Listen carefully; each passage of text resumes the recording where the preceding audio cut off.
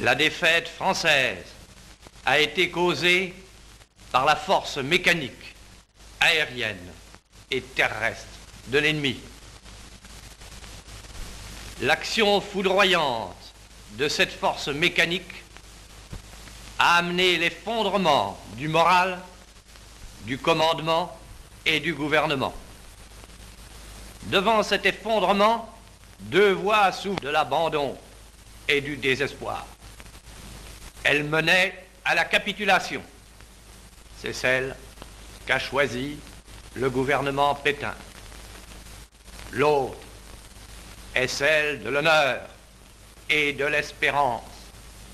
C'est celle que nous avons prise, mes compagnons et moi. Nous croyons que l'honneur des Français consiste à continuer la guerre aux côtés de leurs alliés et nous sommes résolus à le faire.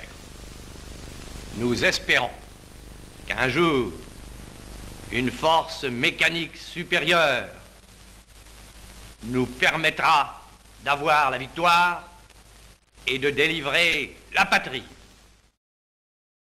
Au nom de la France et de la République, en vertu du pouvoir que m'attribue la Constitution de consulter les citoyens, pourvu que Dieu me prête vie et que le peuple m'écoute, je m'engage à consulter les Algériens dans leurs douze départements au sujet du destin qu'ils veulent adopter.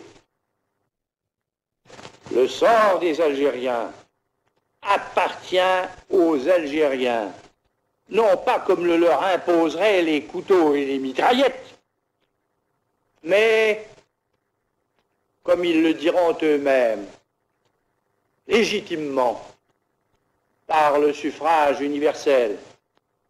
Avec eux et pour eux, la France garantira la liberté de leur choix.